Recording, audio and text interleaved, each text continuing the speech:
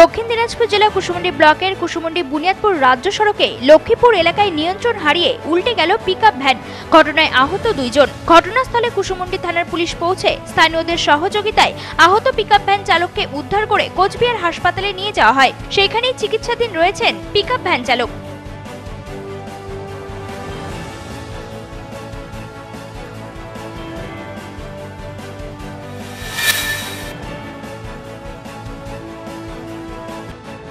অষ্টম শ্রেণির স্কুল ছাত্রীকে ধর্ষণের অভিযোগ উঠল প্রতিবেশী এক বৃদ্ধের বিরুদ্ধে। ঘটনাটি ঘটেছে বৃহস্পতিবার রাতে মালদা জেলার ইংরেজবাজার থানার এগারো নম্বর ওয়ার্ডের কুতুবপুর অভয় ঠাকুর লেন এলাকায়। অভিযুক্ত সমীর দাসকে গত বৃহস্পতিবার রাতে গ্রেপ্তার করেছে মালদা মহিলা থানার পুলিশ।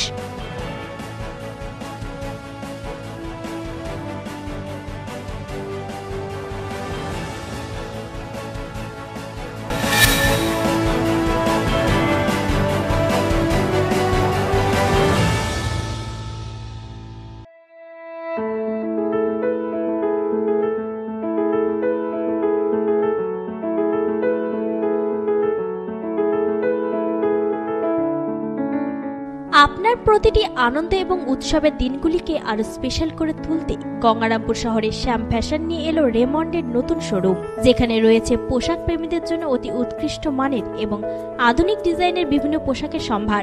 তাই দেরি না করে আজই চলে আসুন গঙ্গারামপুর বাসস্ট্যান্ড সংলগ্ন শ্যাম ফ্যাশনের নতুন রেমন্ড শোরুমে।